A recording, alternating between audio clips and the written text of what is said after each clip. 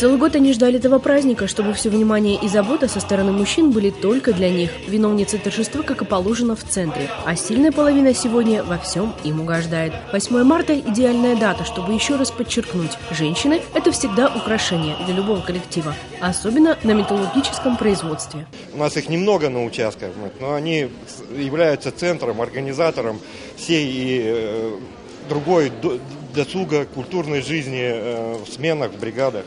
Сегодня цветы не на открытке, а в руках у женщин. Накануне праздника им так приятно получить их из рук начальника цеха. Александр Ананьев, как главный мужчина трубоэлектросварочного цеха номер два, произнес самые важные слова для каждой из присутствующих на празднике. Мы без вас нигде бы не справились, ни дома, ни на работе тем более. Поэтому здоровья вам, вашим близким, детям и нам, чтобы мы процветали, чтобы деньги у нас были и чтобы нас удача никогда не покидала. С праздником! Они на производстве каждый день. Вот и сегодня многие женщины пришли перед самым началом праздника. Трудились на своих рабочих местах. Даже переодеться не успели. Остальные, у кого времени на приготовление было больше, надели вечерние наряды и украшения. Они у нас в любом виде красивые, подчеркнули мужчины. Как правило, всегда перед 8 марта мужчины нас поздравляют с праздником.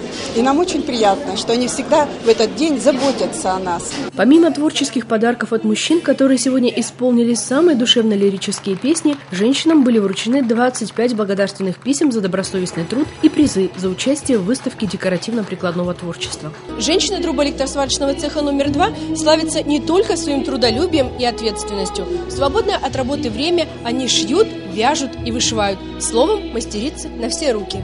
Анна Половникова еще не успела отвыкнуть от работы. Она ушла на заслуженный отдых 1 марта и сегодня в числе гостей и участников выставки. Ее работы, сделанные в технике лозоплетения, приглянулись всем работникам Т2. Этим хобби она увлечена два года. Говорит, что здесь важно трудолюбие и усердие. Этому как раз научили в цехе. А фантазия пришла с опытом. Я собирала газеты, журналы, это все по, по лозоплетению. И теперь моя мечта свершилась. Я начала этим увлекаюсь, очень интересно. Есть много идей в голове. Я недавно ездила на выставку в Снежинск, участвовала. Очень много там было изделий ручной работы. Я тоже участвовала, ну, берут э, вазочки, сукарницы, фруктовницы, хлебницы. Весеннее настроение уже задано. Свой праздник 8 марта многие из этих женщин встретят на рабочем месте, в цехе. Это их ничуть не огорчает, ведь чтобы сделать для любимой праздник, повод порой не нужен. Главное, чтобы мужчины это понимали. Ольга Демьянец, Александр Полищук. Новости нашего города.